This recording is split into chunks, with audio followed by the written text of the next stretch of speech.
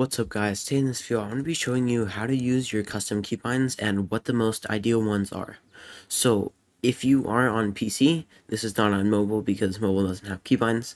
So if you're on PC, you go to the Steam app where you downloaded Pixel Gun and then you click you right click on Pixel Gun and you select properties and then once you're in properties you select game files and then verify game files.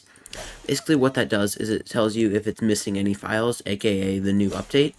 So if you do that and you don't have any missing files, then you can just go ahead and use this. But if you do have missing files, it might take like maybe like a minute or two to download. This is a very, very small update.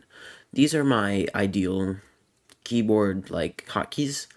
Uh, one, two, three stay the same. Special is V, sniper is C, and heavy is X. So basically, I have my thumb right here over by the spacebar and so that's just really easy to press when I'm having my thumb on the spacebar. That's really helpful for that. WASD are going to stay the same. Move slowly, you don't really need something for that. View is locked. Switch weapon is locked to scroll wheel. Aim and attack, you can switch, jump, reload. Module ability, I actually have it as 4 because that used to be my special and now it's not. And the module ability, the default is actually V, but since I'm using it for my special, then it doesn't really work uh, projectile gadget is actually my bottom mouse button, the one most towards your body, and then the support gadget, which is like uh, like your turret, and the throwing gadget is like your bees. So I'm pressing my back button, and then I'm pressing my front button right there. So yeah, that's how that works.